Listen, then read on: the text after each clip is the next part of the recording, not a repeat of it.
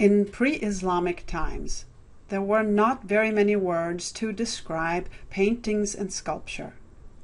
Most architecture, such as the Kaaba, were archaic structures constructed by Jewish craftsmen.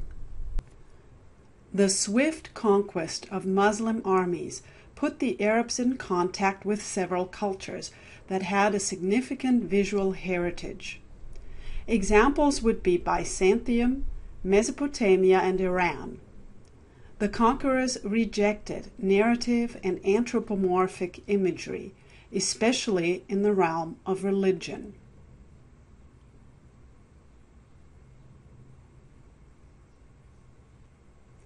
Islam has a provision for the prohibition of imagery laid out in the Hadith. This set of writings was compiled by Muhammad al-Bukhari around 870 Common Era. Here is the passage. In the day of the judgment, the painter will be destined to the pains of hell, and he will be asked to infuse life into the forms he modeled but he will not be able to infuse them with life.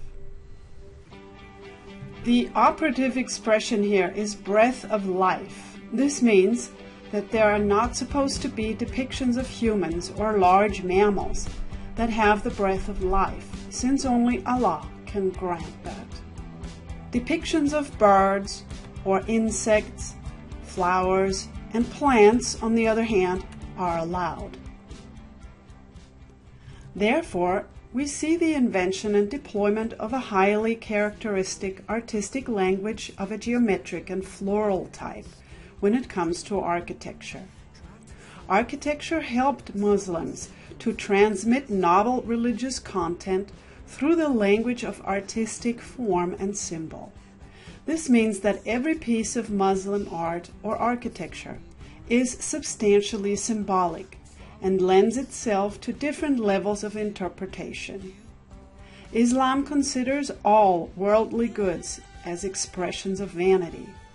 The Hadith, for example, criticizes architecture as, quote, the vainest thing to eat up the wealth of a believer, end of quote. Yet, Muslims were and still are spectacular builders. Architecture can be practical because it can be used for prayer, or be political because it can glorify a patron. It can also be aesthetic because it reveals a subtlety of form, or also mystic and theological because it confirms the tenets of the faith.